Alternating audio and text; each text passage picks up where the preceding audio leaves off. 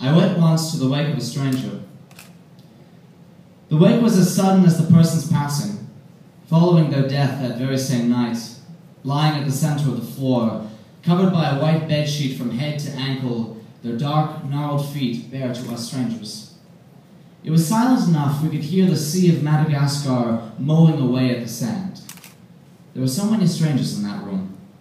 Maybe the widow had hoped to flood death out of the house, back to the pitted streets with a swift and active tide, even if the neighbor's suspicions were confirmed by the blocked skin on the soles of her husband's feet. Even if the foreigners were there too, with their paper white and sun cankered faces creased out of respect and confusion.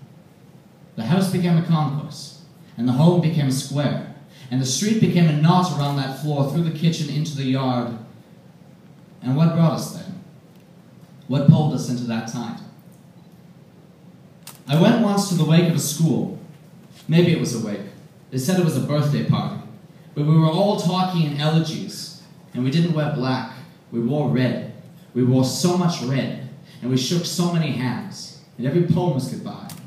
Every toast was goodbye. Every greeting was goodbye. Every goodbye was belted out and recanted, though they knew it to be true. There was so much marble in those hallways you could hear the echo of the footsteps of the night by the following morning. If they didn't open the windows and shake out the scarlet curtains daily, you would hear the footfalls, you would hear the pipes rattling, you would hear the band playing from a hundred years past, from the bass line to the copper roof and the rafters onwards to heaven. And what brought us there?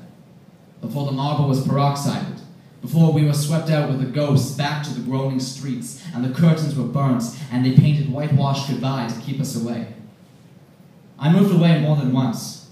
I lay down on the floor of the, of the kitchen of a third story walk up in Montreal. It was full of strangers, talking about the funerals we'd been to and seen ourselves in the distance. The desert cemetery flowers that we watered while widows counted the days since on the rosaries. We held each other's hands for the places we were, that we needed because they chose us seaside towns in Mozambique, crimson schools grown ancient from seeing so many children grow up or outgrow to go elsewhere. From the street corners to the water coolers, the gardens and schoolyards, the campfire and lamp glow, the candlelight vigils to the starry, starry night, this. All of this is the third place. And so what brought us here? To the tendons stretching unseen among us, to the undiscovered countries we ran aground upon as we sailed from home to work and store and sleep, where strangers found more like them. I went once to a wake, and I woke once in a place. There were strangers there who chose themselves, and everyone called us by name. They said it was a dirge, but every word was hello.